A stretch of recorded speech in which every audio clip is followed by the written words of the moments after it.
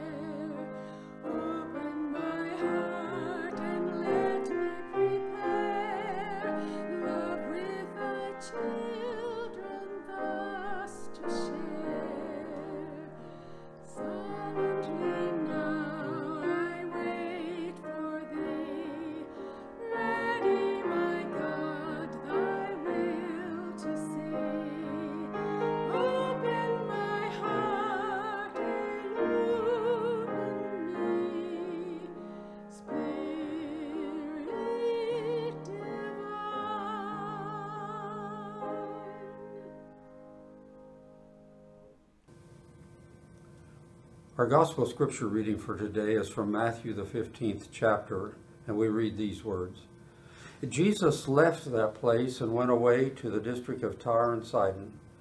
Just then, a Canaanite woman from that region came out and started shouting, Have mercy on me, Lord, son of David. My daughter's tormented by a demon. But he did not answer her at all. And his disciples came and urged him, saying, Send her away, for she keeps shouting after us. He answered, I was sent only to the lost sheep of the house of Israel. But she came and knelt before him, saying, Lord, help me. He answered, It's not fair to take the children's food and throw it to the dogs.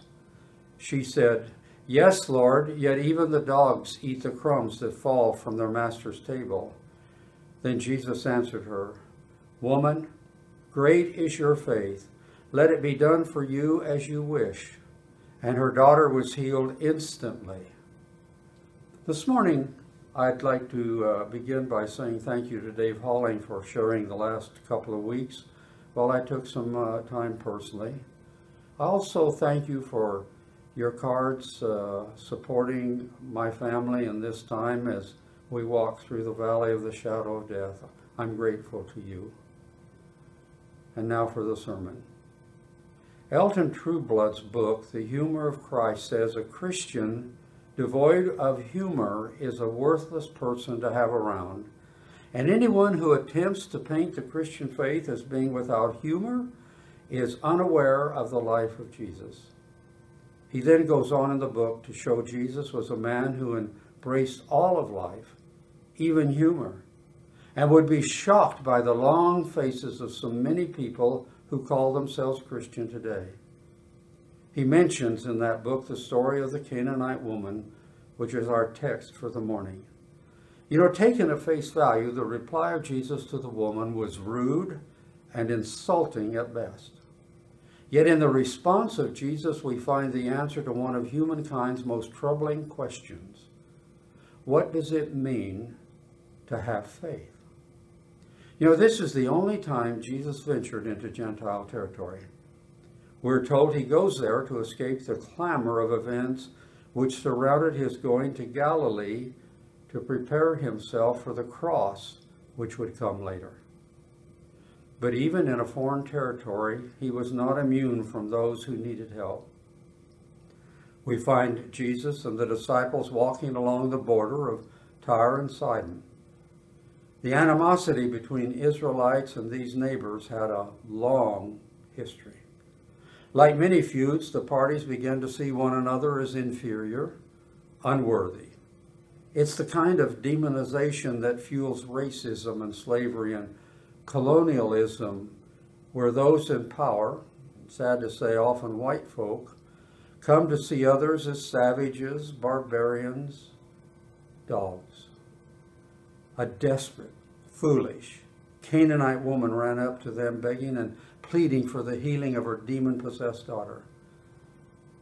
I suspect the disciples wondering who really needs the help the daughter or the mother. But Jesus surprisingly ignores the woman. He seemed to affirm their worst assumptions about the woman. Her persistence was causing a scene. So no one of them, so one of them said to him, Let's figure out how to ditch this lady. She's making us uncomfortable. Usually, in other experiences, this is where Jesus would put the disciples in their place, and everyone learns a lesson about compassion and diversity. But Jesus doesn't. Instead, he says that his ministry was not for her. She wasn't an Israelite, she wasn't included. So she drops to her knees in an act of worship and begs Jesus, Help me. You know, there are two things that stand out in this story for us today, I think. First is the silence of Jesus. Then, as now, to avoid speaking when one is spoken to was considered rude. Yet when the woman spoke to Jesus, he remained silent. Why? Well, you know, sometimes we're silent because we're shocked and speechless. Or we may be embarrassed or maybe we really don't have anything to say. Or it could be that we may not want to say anything at all. Jesus, being the great psychologist he was, sometimes used silence as all good counselors do. He tested her to give her an opportunity to express her true feelings. Silence is a tremendous power when used widely, wisely. My dad knew how to use silence. I was uh, never more fearful than when he was silent. You know, at least when a person speaks, you can know what they're thinking.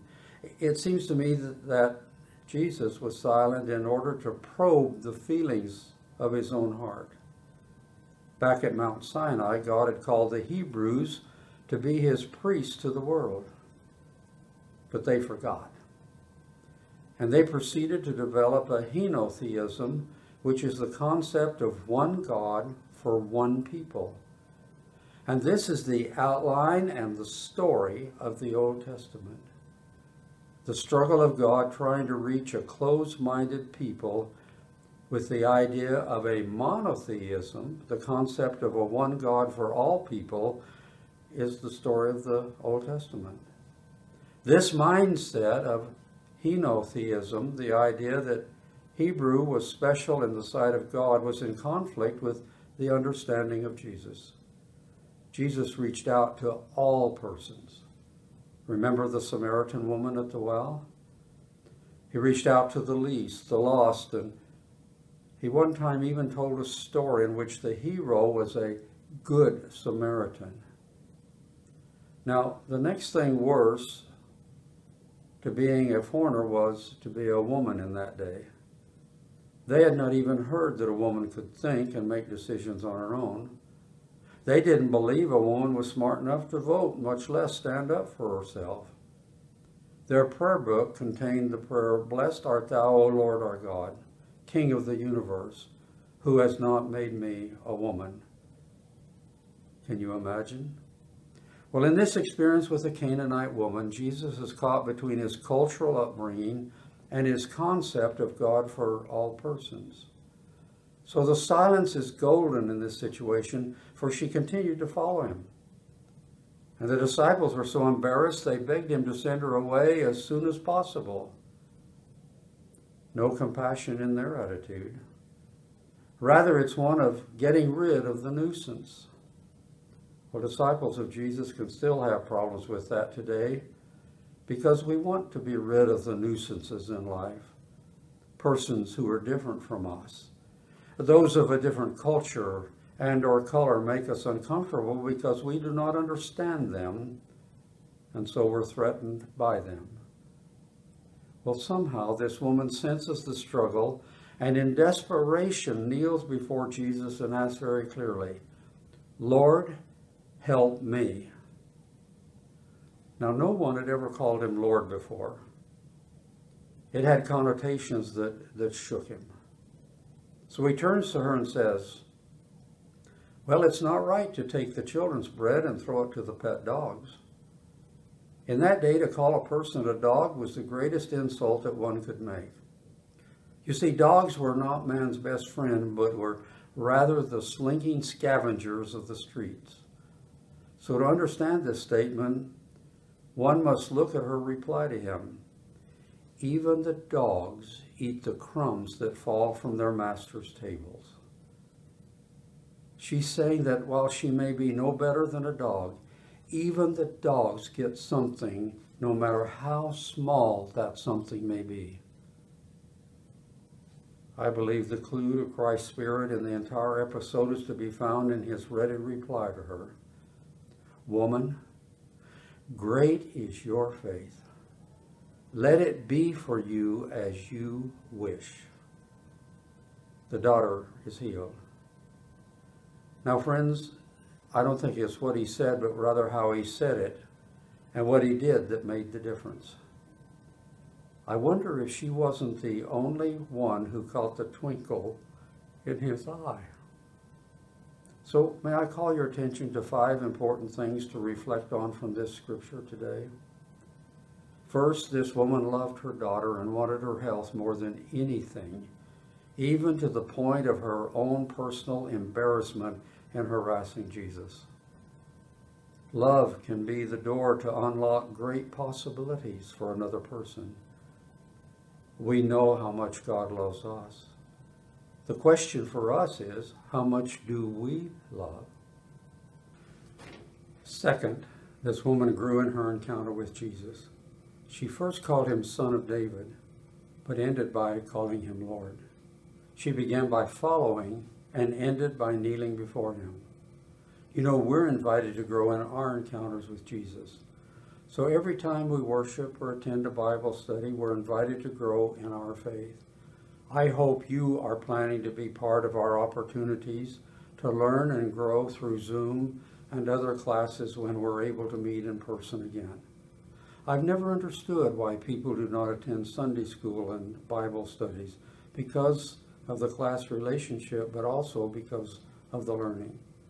Third, we discover that this woman had an indomitable persistence. Jesus was her only hope, and she was not going to let the opportunity slip away.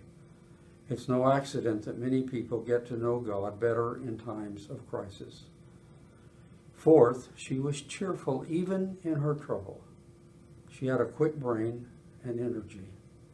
Brains and energy are needed in our faith journey. Jesus needs quick, clear brains for his work. It's not enough to have a heart of gold and a head full of feathers. That's a very poor building material for a mature faith. This woman was willing to learn. She was willing to ask for help.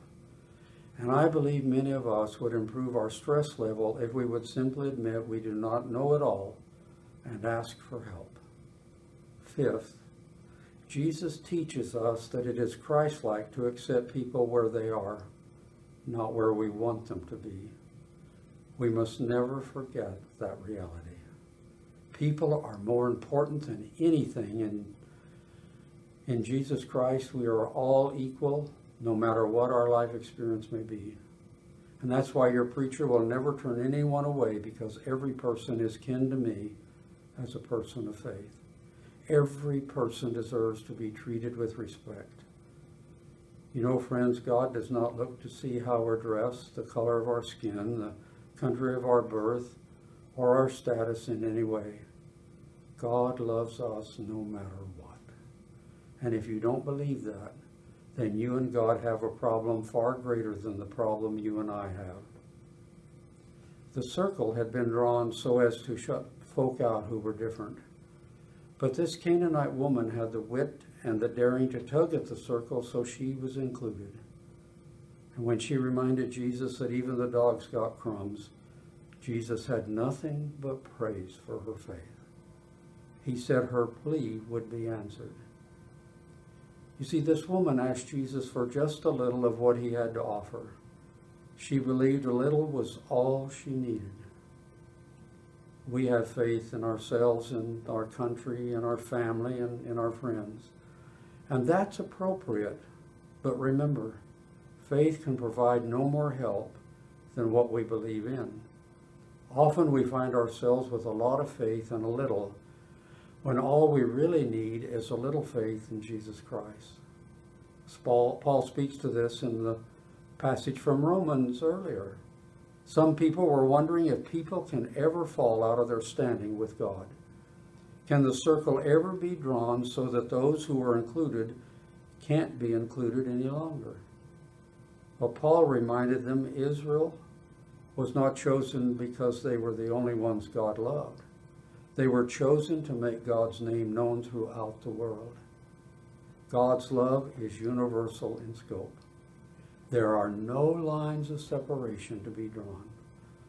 Paul reminds them and us that God's love and grace and mercy are abundant and always there for us as revealed in Jesus Christ. Jesus Christ is the one great solution to our problems, and no one's ever been able to fully measure his help. To follow Jesus may look like choosing the lesser of two ways in life. It takes humility and may include a cross. It's the lesser amount with a greater value that answers our initial question. What does it mean to have faith?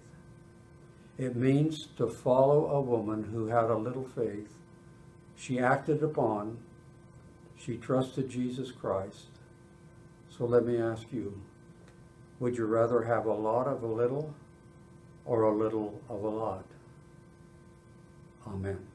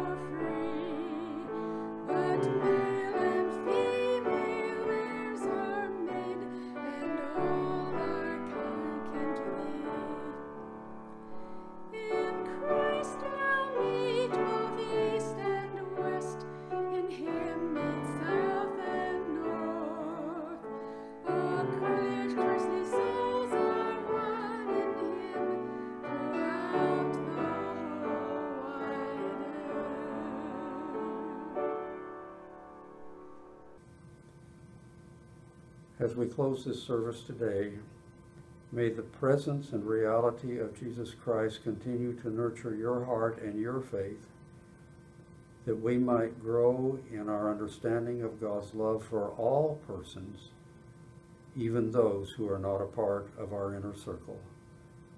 Go in peace to serve Christ and your neighbor. Amen.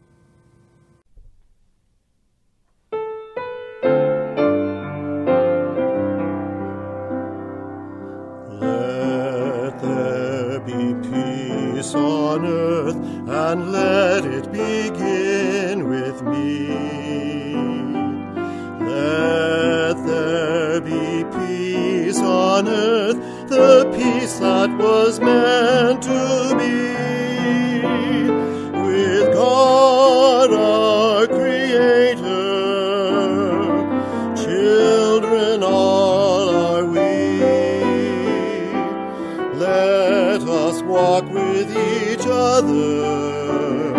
In perfect harmony. Let peace begin with me. Let this be the moment now. With every step I take, let this be my solemn vow